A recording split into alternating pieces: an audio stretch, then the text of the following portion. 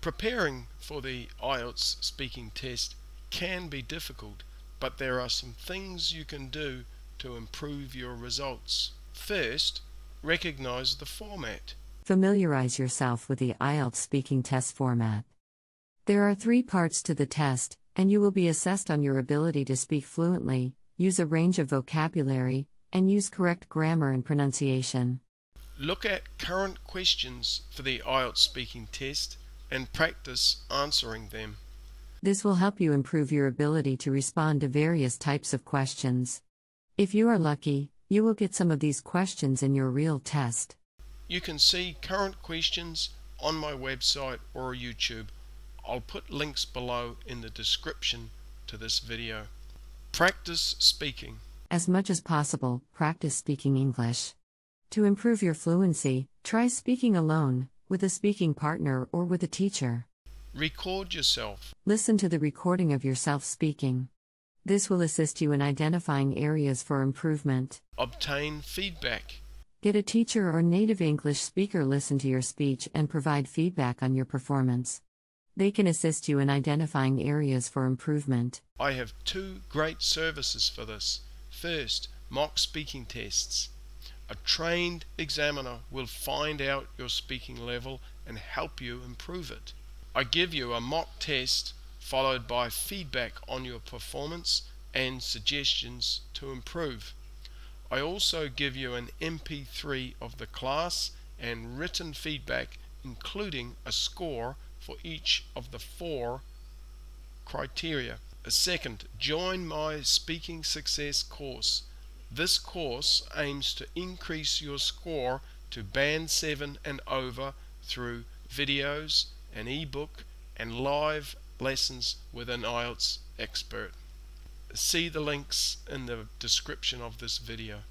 Increase your vocabulary by learning new words every day and using them in your conversations.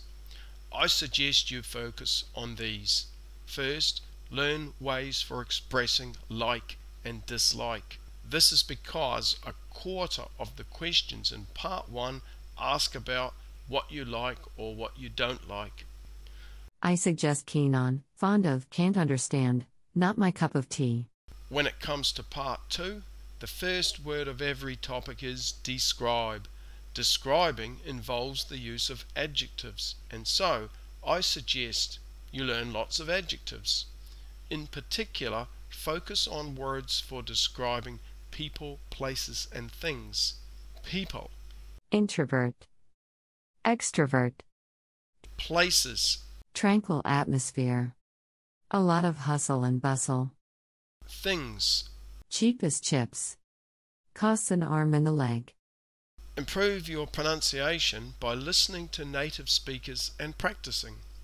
You can also improve by using online tools and resources. Here are a few options. Forvo. Forvo is a website that offers a comprehensive database of audio pronunciations for words in different languages.